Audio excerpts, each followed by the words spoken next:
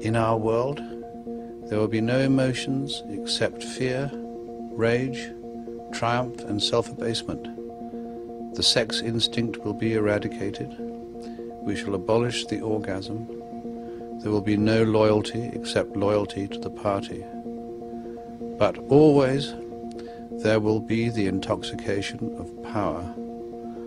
Always, at every moment, there will be the thrill of victory, the sensation of trampling on an enemy who is helpless.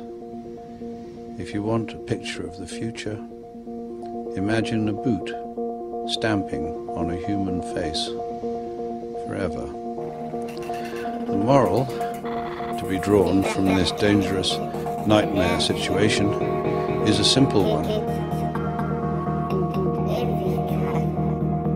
Don't let it happen.